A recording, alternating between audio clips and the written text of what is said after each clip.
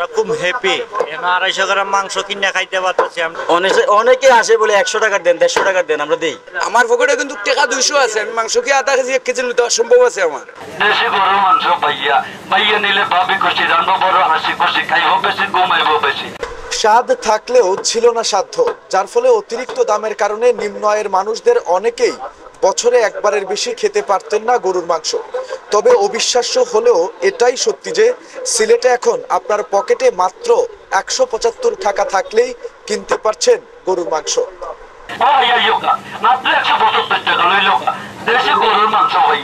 এমন সুবিধা আমরা কোনো আনা দিচ্ছি না যে আড়াইশো গ্রাম মাংস কোনো আনা বিকতে আমরা দিচ্ছি না।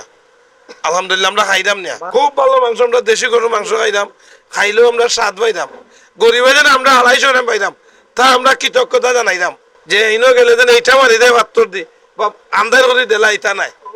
আমরা এনে সুবিধা মতো পাইলাম ইনশাল্লাহ খাইলাম গরিব মানুষ আমরা তো ছয় সাতশো টাকা নাই। তখন তো বাচ্চা কাচ্চা খানলে একটা তো আমরা নিয়ে দিতাম পারি না। তখন হঠাৎ এই যে ইদুঙ্কু আমারও একটা সমস্যা হয়েছে এরপরে আমি তিন চারটা দোকানও গেছি কিন্তু। কিন্তু আমারে কইছে না, ওইতো না। আমার পকেটে কিন্তু টাকা দুইশো আছে, আমি মাংস কি আধা কেজি, এক কেজি নিতে সম্ভব আছে আমার। তখন আমি এই মাংস, অন্য আইয়া খবর পাইয়া তো মাংস লই আমি বাসা অতটুকু আমরা খুব বড় আনন্দ তো আমরা গয় গরিব যারা আছি, রিক্সা চালাই, শো দেড়শো, দুইশো, পাঁচশো টাকা রুজি করি।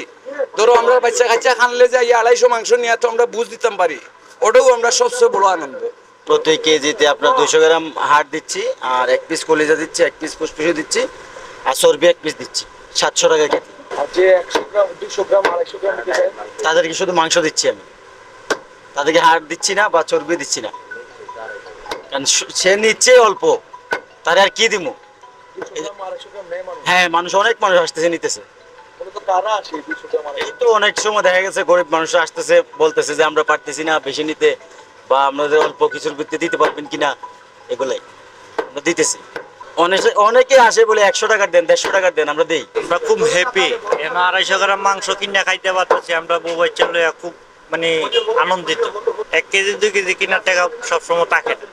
আড়াইশো গ্রাম কেনার মতো আমরা সমর্থ থাকে না। এখন থেকে আড়াইশো গ্রাম কিনে খাইতে পারতেছি খুব হ্যাপি কত টাকা লাগে আড়াইশো গ্রাম কিনলে? একশো পঁচাত্তর টাকা। আমি অন্য দোকান থেকে আগে মাংস নিতাম। বাট একদিন তার পরিবেশন দেখে আমার কাছে খুব ভালো লাগছে। মানে গরুর মাংসের মধ্যে দেখা গেছে যেমন হাড্ডির পরিমাণ প্লাস ওই যে আপনার খলিজা মানে সব। গরুর মধ্যে যে যে আইটেম আছে সবগুলো আইটেম তারা মানে সম পরিমাণে একটা মানে সব আইটেম দেয় না আর কি। তবে অন্য জায়গার চেয়ে এখানে রেট কম আছে। যারা মানে সামর্থ্য নাই হেও আইয়া নিতে পারব। আড়াইশো গ্রাম মাংস নিতে পারব। কিন্তু অন্য জায়গায় গিয়ে তো মানে আড়াইশো গ্রাম চাইতে পারতো না। এখন ডেলিতে পাঁচ, সাত, দশ, পনেরো জন মানুষে নেয়, আড়াইশো গ্রাম করে। আধা কেজি তো মনে হরকা চল্লিশ, পঞ্চাশ জনে নেই। ডেইলি আমরা পাঁচটা থেকে ছটা গরু কাটলাম হ্যাঁ আগামী কালকে, গেছে কালকে পাঁচটা গরু কাটছে আজকেও চারটা গরু, এখনও আর আশা করি আরও একটা খাটা হইব। প্রথম প্রথম অনেকে শর্মা মনে করছে আমরা দিতাম না। আমরা এটা বোয়া বা এই সেই মনে করছে।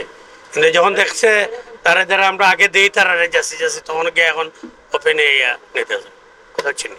অনেক ছোট ছোট ফ্যামিলি আছে, শর্মে হইতে পারে না, কিন্তু এখন দেখছে যে তারা আই সারা দিলে ভাই আমরা আড়াইশো দিন আমরা দিলাম।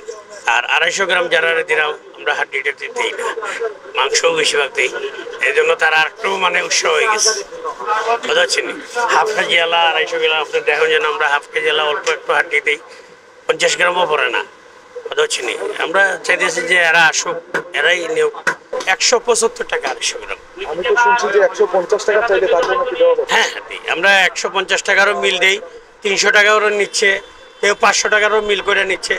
আমরা যে যতটুকু চাই একশো গ্রাম চাইলেও দিই আমরা। একশো গ্রাম এখনও নেয় নাই কেউ কিন্তু আমরা ওদেরকে বলছি যে আপনার যদি একশো গ্রামও লাগে নিয়েন কোনো সমস্যা নেই।